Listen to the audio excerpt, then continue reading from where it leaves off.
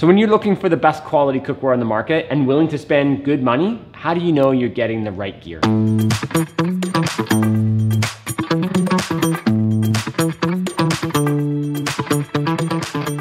Hi, I'm Jed, this is Cook Culture. So today I'm gonna to try to give you the information that you need so that you can choose the best quality cookware for you and spend your money the right way. So when you're buying cookware, when you're spending money on cookware, there is a threshold of what you're gonna believe is the best quality for your dollar. And that's gonna change, you know, between you or your brother, your sister, your mom, your dad, you're all gonna go out and buy cookware for yourselves. And each one of you is gonna have a different threshold of what that's gonna be. So I may be like, hey, I'll spend $500 on a saute pan. And if I, you know, calculate in my head that that makes sense to me for the duration of that I'm gonna have it for my rest of my life, then hey, that's really good money spent and I'm really happy.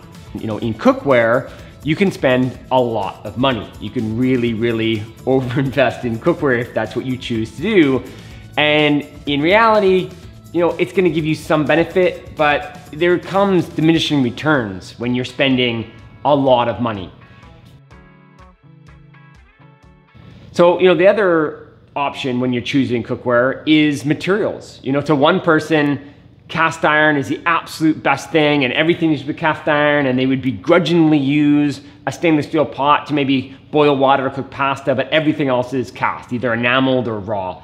And to someone else, just like, ugh, it's so dirty. I would never use cast iron. It's sticky and yucky and gross and it always looks dirty and I would never touch it, you know, and they want to have everything stainless steel and it's easy to look after or easier to look after and it looks all shiny and you can tell when it's clean. And that's the difference between those two people. That doesn't mean that one of them is right or one of them is wrong. One person just really likes one type of cookware and somebody likes the other type of cookware and that's just totally fine. This is my opinion, opinion of one guy, but I've been selling cookware for 30 years and I've kind of honed into what I really like and what really works for me. And so what I want to just do is give you my opinion of my industry experience of what I've found really works and for the thousands of people that I've sold cookware to. So what's my definition of good quality, right? So my definition is a simple design. I've found over time that designers and makers of cookware have tried to overcomplicate things to say, hey, we're different. And it always kind of comes back to just a really simple, easy design of a pan. It, it works. And you don't really need to be, oh, well, that special design or whatever it is that they've done to the pan is something that is gonna be make it better. It, it's kind of been proven over time that ergonomically, you know, a pan that just looks as simple as this or a pot that is as simple with just a nice simple handle. It feels really good in the hand.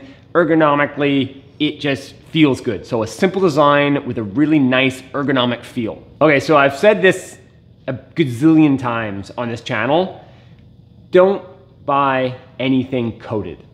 So if you're buying quality cookware for longevity, coated cookware just doesn't work. They just don't work together. Unfortunately, All-Clad will make copper core. So this is a 10 inch copper core fry pan. It will last for thousands of years. Like there's nothing that will wear out in this pan. This pan will go on and on and on and on. You put a coated cookware in this pan, and unfortunately All-Clad does come with coated cookware, it will wear out. It can be months, yeah, like literally months. So like $250 for a pan like this, and in months it could be garbage. That's really, really, really unfortunate. So I highly stress, you know, you, you're like, oh, I need that one egg pan. And that's where I would talk to you about cast iron or carbon steel, where carbon steel, really nice little egg pan shape.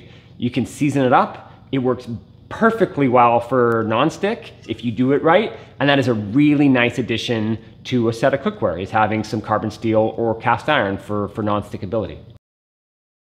So cleaning. Cleaning is a big one. So I like to look at things that have less parts.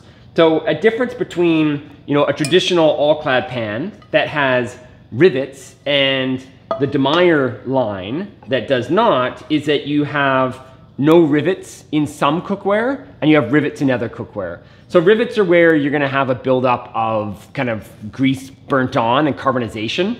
And that's to some people a problem. Um, so some pans without rivets are nicer to have for cleanliness. Um, and then other ones with rivets. And also the way the handles are attached, you know, when you get a buildup, how easy it to get in and around there to keep the pan clean. So I find choosing your brand and finding which brands are of a really high quality are important.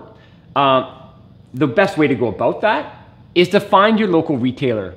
Go to your local retailer, see what they have, see what they recommend, and understand from them like what's their experience and what do they think is their best quality, right? What can they get their hands on? And then another one is definitely reviews online. And I am a big fan of Chowhound. Chowhound can be a little bit over the top. Some people, you know, I, I geek out over cookware and I really appreciate how others really geek out over cookware, just from the fine detail of all the different types of materials and why and what and so on and so forth. And there's lots to be learned. There's a ton of just volume that's really hard to get through to really understand what people are saying about, you know, their experience. Um, but you know, there are lots of different types of cookware in the world, and it's a really good central point that people do talk about things and compare you know what they've experienced between different brands. And it's nice to just get a sense of things as you're starting to to look around and hone into what kind of stainless steel cookware that you're looking for to add to. When it comes to cast iron i suggest you know looking at that two different things. Focus on cast focus on carbon steel and try to make that decision around what kind of skillet that you're looking for uh, and then focus on stainless as kind of the body of your cookware so for myself, if I'm putting together a really great set of cookware, I am more of the opinion of having individual pieces, of buying cookware piece by piece. That does not say that a set of cookware cannot work really, really well for some people. If you get a nice high quality set of cookware for a really reasonable price, because it's in a set, that's great. That could be a really nice place to start. Sometimes there may be a fry pan or a big stock pot or something that you don't use very often, but when you compare the pricing to a set to buying open stock, if you're buying something similar, you can get really good value. Personally, I really like just having a few pieces. I'm a big fan of less is more. You know, for me, the basic of a set of cookware is one skillet, having a saute pan, and a you know small stock pot of some size. And that I can do absolutely everything I need. You know definitely that is not my limit of my set of cookware. I have you know too many pans and quite a lot of pots. One skillet this is a 10 inch I really enjoy it. Um, a cast iron or carbon steel piece I find carbon steel in a small little size like this works beautifully for, for toasting things. A lot of people will call this an egg pan. Uh, absolutely fantastic in carbon steel. And then a saute pan that is wonderfully versatile uh, is a tremendous piece for you know, simmering and sauteing and you know, things with more liquid. It's, it's fantastic. Uh, you can also braise in there too. And then, you know, a, a sauce pot, stock pot, of, of some sort. Uh, you know, this is a five and a half quart, but going up into an eight quart for doing pasta. Um, super, super useful size. And then the last piece that I absolutely love is an oven. So a Dutch oven, or what they call from stove, this is a cocotte. Uh, you know, this is a seven quart. It's a tremendous piece. I use it often and, and love slow cooking in an enamel cast iron pot. So, in conclusion, my advice to you is to buy the best quality cookware that you could afford. So, search out those brands that you love, decide on what makes a reasonable amount to you. You know, you can easily spend $200 on a fry pan, and that's great. You can spend, you know, $300 on a fry pan.